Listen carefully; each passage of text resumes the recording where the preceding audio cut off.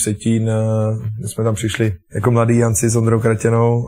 s Honzou Tomajkem a Krtek tam byl o rok dřív. A dělali jsme tam nějakou tu třetí lineu kompar, samozřejmě to hlavní stálo na jiných hvězdách, ale, ale myslím si, že když jsme hráli proti Spartě, proti Petrovi Nedvědovi, tak jsme hráli přímo na ně osobní obranu s Bobo Stantěn s náma,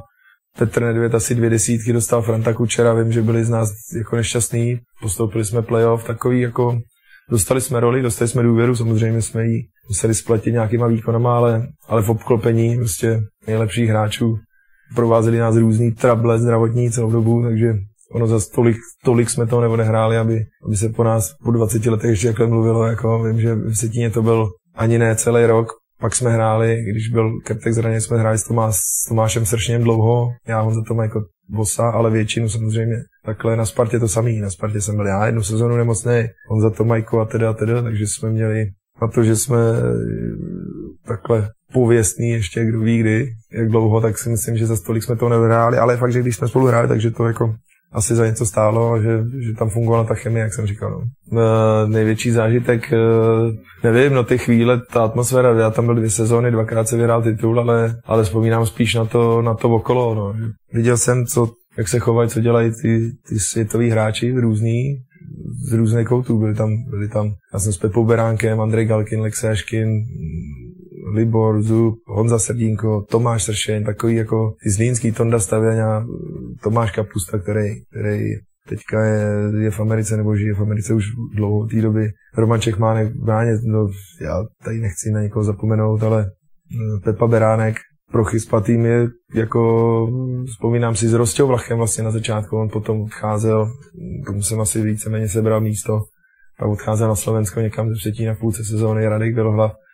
tak uh, spoustu jsem se naučil, jako co to obnáší, vlastně být nějaký profi hokejista. A, a taky člověk načichne tím nějakým úspěchem, jako ono, když se vyhrává, tak jako najednou to člověk chce zás, jako a furt další zápas a, a je to takový, od té doby tak nějak nesouhlasím s těma teoriemi, že ty, co nikdy nic nevyhráli, že jsou hladovější, nejhladovější ten člověk, co to pozná, jak to chutná, tak pak na to má chuť daleko větší. No, jak ten než žralo, když si kousne do člověka, tak taky pak jako, takže to si myslím, že víceméně tohle mě nastartoval tak nějak potom do, do budoucna už tenhle ten jako, tahle ta touha voně, jako to znova získat. No, já jsem s Ondrou Kratinou odcházel ze Vsetína vlastně po letní přípravě na konci srpna Podávali jsme výpověď, protože tam byly nějaké finanční problémy určitý, které eh, se samozřejmě později objevily naplno, ale, ale měli jsme tam nějaký dlouhodobý resty, tak jsme se rozhodli, rozhodli podat výpověď a, a jít do Sparty. Konec srpna to byl a, a vím, že se říkalo, že eh, v kabině byl nějaký pohovor po našem odchodu, to byla, byla taková revoluce, taková situace jako nezvyklá a málo kdo by na to měl jako odvahu to udělat a a vím, že se Zubem a ze závěrou jsme seděli, oni byli první, kdo to věděli, že vlastně máme tuhle tu možnost. Co, co oni by na to řekli, oni nám doporučovali, ať prostě na všechny serem, že, že by udělali to samý, ale neudělali to, protože nevím, nespomínám si, si neměli ty dluhy tak velký nebo něco. Ale vím, že pak vykládali kluci v kabině, že bylo sezení, já s Ondrou Kratinou jsme byli mimo a Jirka Dopita, tehdejší kapitán, přišel a říká, tak pánové, tahle situace takhle to jako nebude, jestli má někdo e, nějaký problémy, tak přijďte za mnou, ale nikdo nikdo už tohle to neudělá, nikdo už jako nepůjde. Ještě jeden, ještě někdo tohle to udělá, tak dostane přes držku ode mě, říkal Dopy. A Zábra Perry se postavil a říká, tak Jirko, to se asi budeme muset porvat, protože já jestli to nedostanu do konce týdne, tak jdu taky, jako něco takového, že bylo. Že všichni koukali, Dopy říká, ne, ne, jasný, jasný, a pak to Libor snad dostal doplacený, možná na základě týhletý, týhletý, takže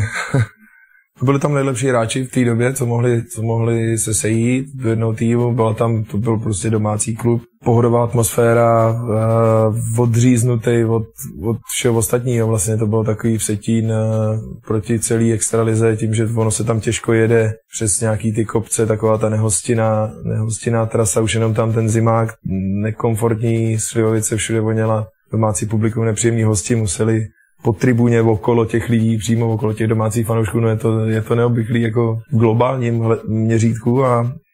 to je takový ten trend moderní, že se, že se vyrovnávají, vyrovnávají ty kvality těch kádrů. Náhle příklad eh,